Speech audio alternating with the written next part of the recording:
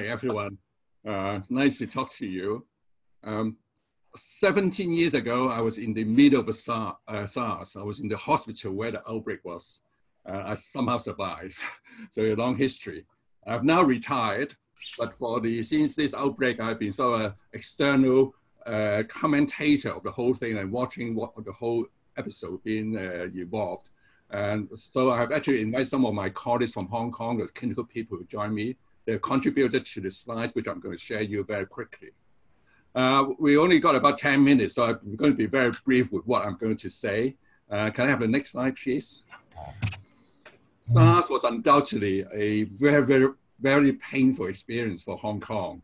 Uh, Hong Kong had 22% of the case, 17,000 uh, then uh, with 17%, 299 people died.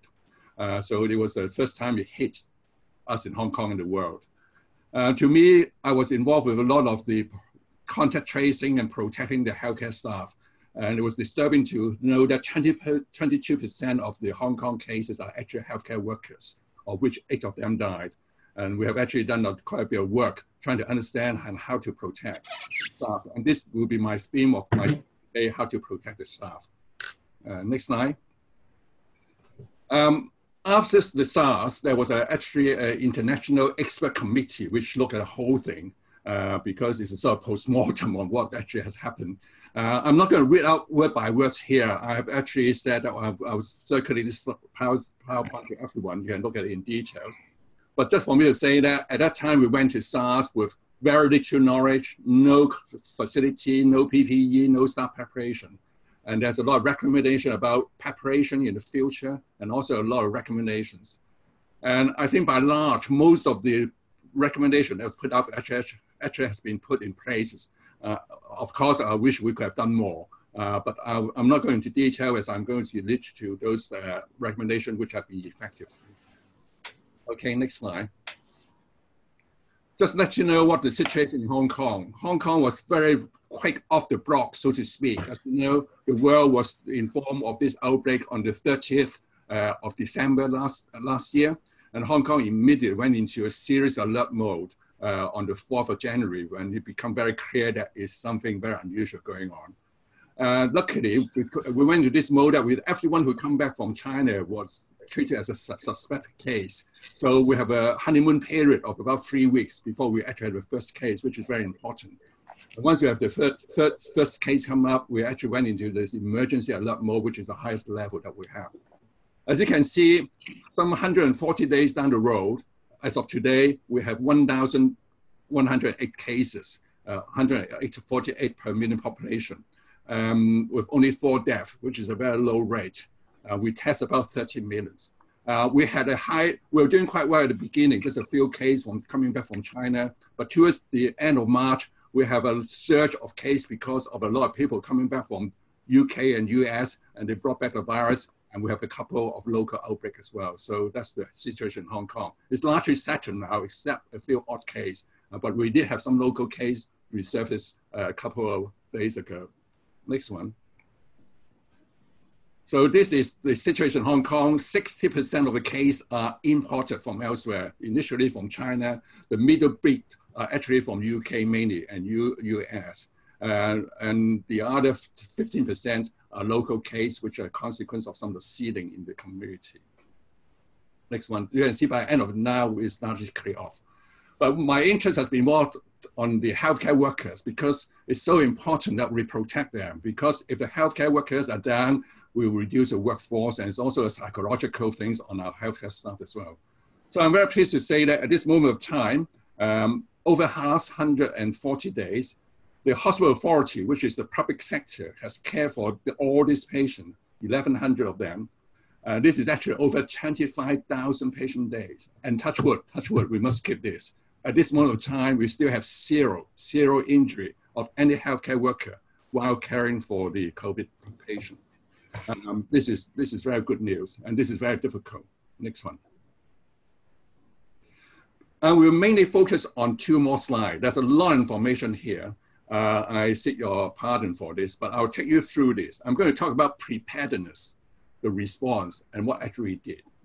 I think it's so important that from SARS, we actually prepare ourselves so much better than 17 years ago. We have the Center of Health Protection, which is a government Department of Health organization, which oversee the whole management of SARS. They have a, a television briefing every day at 4.30 p.m. tell us what's been going on. So this is very important. The hospital authority, which actually run all the public hospital, they now have a major incident control center and a central committee looking at infectious disease and emergency outbreak. I think this, to me, those are the important things that someone coordinate the whole thing.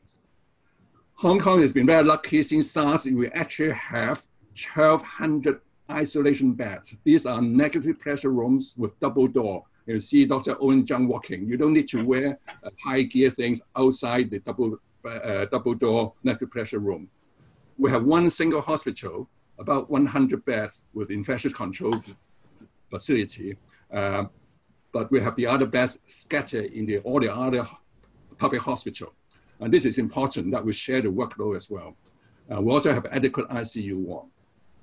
Just let me share with you, the PPE is one of the things that which we actually focus on quite a lot.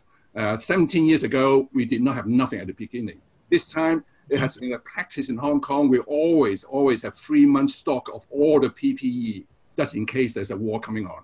But despite that, it's still not adequate, as the frontline people tell you, because everyone suddenly upgrade their demand of PPE. But we did have three months stock at the beginning. Soon it ran down to one month only. The other thing I think we should focus is the staff preparation. A lot, of virtually all our staff will have in the HA will have infection control training. They have drills. Uh, even they have fit tests and check on testing which are the N95 that actually work for them. So we're much better prepared for protection of staff. I think most important is response plan and the teamwork. And we are actually so-called dirty team. Those are people who look after the infection people, uh, the risk chapter of the rest of people. Maybe my Hong Kong colleague will share with you some of this later on.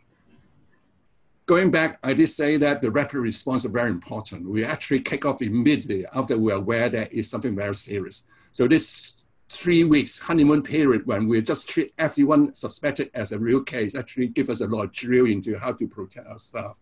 So when the few things come, we're ready for it. Okay. I'm going to move on to my final slide, which is the main important slide. I'm going to take some time over this. Um, I'm cautious of the time. I think what is important is to mitigation. It's most important to reduce the case number in your country and in your hospital. And by doing so, you'll reduce the virus load in the community and in the hospital as well. By doing so, you will reduce the stress on the whole healthcare system and the workload on the staff as well. I'm going to separate off into how to reduce it by medical. Uh, I, I can see the hospital authority have a very good surveillance system and triage system. Uh, we have this fever, travel, occupation exposure, contact history. Any one of those things will actually will, will focus on them and they will be triaged with tests. Uh, Hong Kong have introduced COVID testing by step by step uh, when we got more of the uh, of agents uh, reagents, the, the, the type of people we test will actually increase to outpatient clinic and etc. So step by step. Hong Kong also made it compulsory to report case as well. In Hong Kong, they have been able to order cases were isolated. Initially, if they're suspected, suddenly when they're confirmed, they will stay in hospital until they are test negative. But the other thing I've seen Hong Kong done is they actually, apart from the single infection control hospital with, with 100 beds, they will have spread out the other patient into all the other acute hospital, which also have the infection control facility as well. So there's no one hospital being loaded with too many patients. We were very, they were very tight on the contact tracing and we quarantine any high risk people who have been in direct contact with no precautions as well. So those are medical things which I think reduce the number of cases in Hong Kong. On the government side and society, they also bring a lot of measures, just like the rest of the world. Uh, we actually did not close down the border immediately. It was by step by step that we restricted incoming. Uh, at this moment, uh, it's only Hong Kong people now come back. And those who come back from UK and our people, they will be quarantined at home. Those come back from the high risk area, they will be quarantined at designated center provided by the Hong Kong government we did not have a lockdown in Hong Kong. We shut down step by step the school, the university. Later on, become very clear there's an outbreak in the community. We shut down the cinema, religious gathering, fitness center, and karaoke. Um, I think the other thing that's important I see in Hong Kong is that they completely restrict visiting in the hospital and also for OH home people. So in Hong Kong, none of the OH home people place actually gone on fire, so to speak, with the spread of the disease. In Hong Kong, at one stage, we're only allowed to eat together in a table of four. And then later on, it's actually a maximum of eight. We never close down the whole town, but they were allowed to, to meet. But I think at the end of the day, which I can see, is not on the screen here, is the social individual behavior.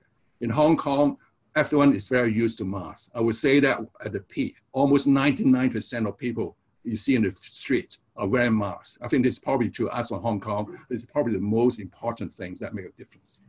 Let me move on to the last things. Uh, the operation wise, you can see here, universal precaution is very important because for most of the staff and also give to patients as well.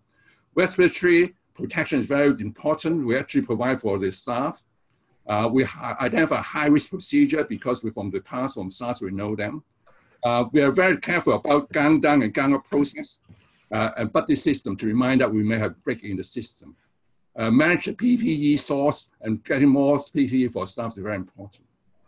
I would like to finally come to say that we must look after our staff, not only the infection control team, but everyone in the hospital, all grades, not just doctors and nurses, but everyone. We need to support them. And what about reporting system? Anyone is ill, there's a reporting system that we know of. We don't have time to talk about that, but there's a lot, I see a lot of very good work of PDCA cycle very quickly, minimize the risk exposure. Dr. K.M. Zhou is here. We tell you how we minimize the risk exposure to patients. We have rapidly, within 24 hours, set up a triage and test center near the airport to reduce admission to hospital. And all these are very important. But, and I think it's most important to say that you should have been well prepared. Uh, there's the command, control, coordinate, communication. But the final word, which you cannot see here, is connect. You, you must connect to your staff so that we're fighting with one whole team.